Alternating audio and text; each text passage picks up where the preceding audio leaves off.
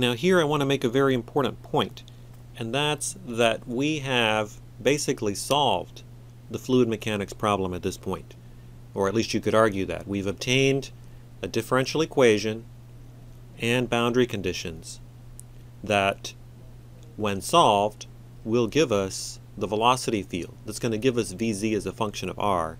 It's going to give us the shape of the velocity distribution in the pipe. So this is the fluid mechanics problem. From this point forward, it becomes a math problem. It becomes a differential equations problem. And, and that's something that I really want to point out because, you know, you, a lot of times in fluid mechanics we end up with some equations that require some mathematical tricks or mathematical manipulations to arrive at the solution. But those are math issues. Uh, and that's due to the nature uh, of the differential equations, uh, the form of the differential equations associated with the Navier-Stokes equations. But the fluid mechanics is embedded here.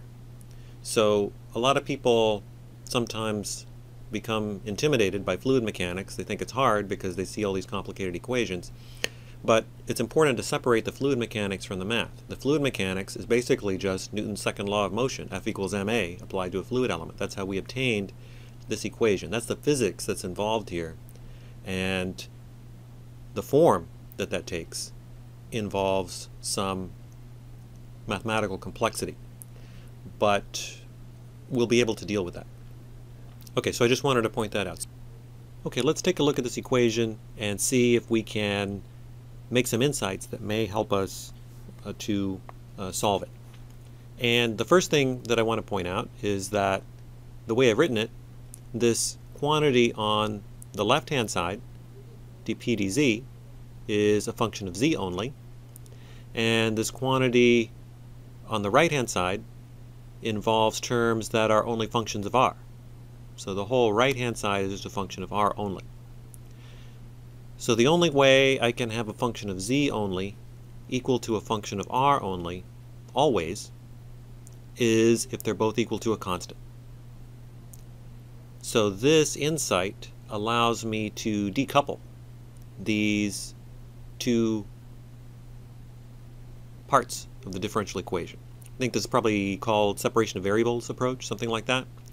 How do I know this left-hand side is a function of z only? Well, remember when we went through the conservation of momentum for the r and theta components, I preserved these pressure gradient terms, and those told me that I don't have a pressure gradient in the r or theta direction, so therefore the pressure is not a function of r and the pressure is not a function of theta. So I used that insight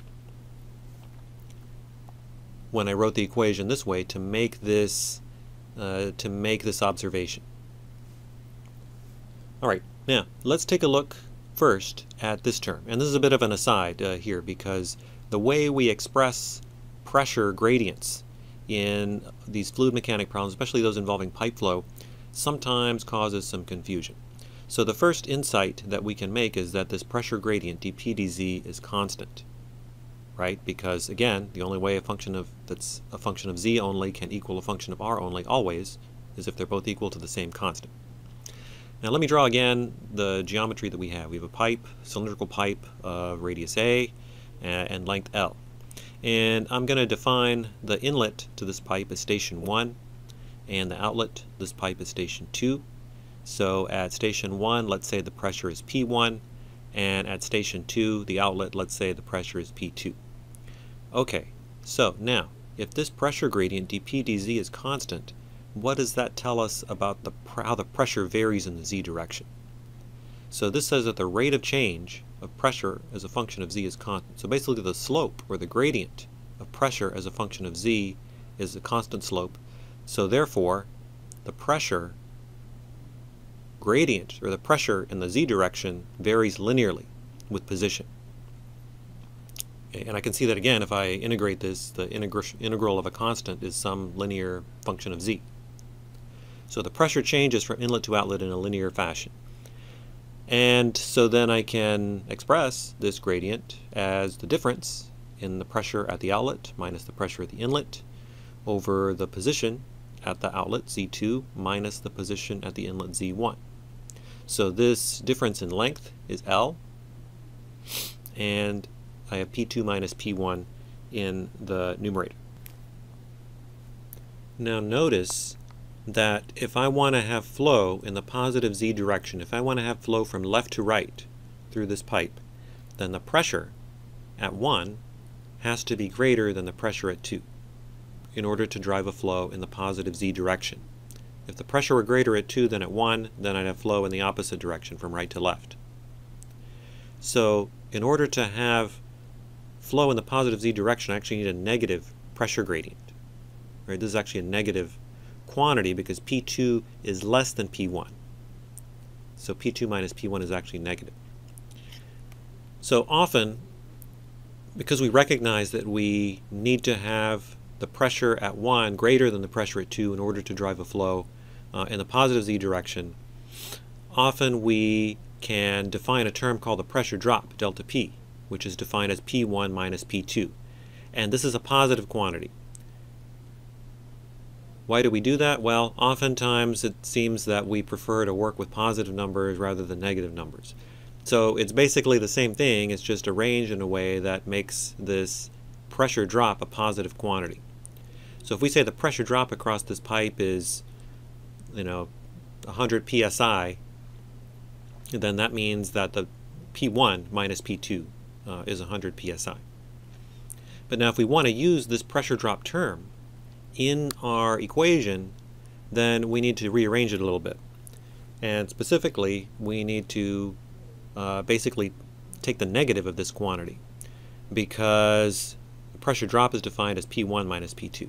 So we can define minus dP dz as P1 minus P2 over L or delta P over L.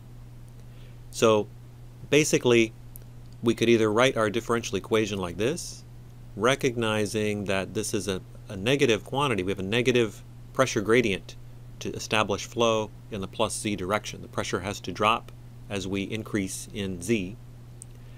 Or we can define that in terms of a positive quantity, a positive pressure drop, and take the minus uh, basically uh, of that and use that in the equation.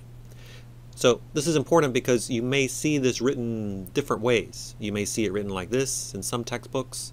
Uh, you may see it written like this in other textbooks.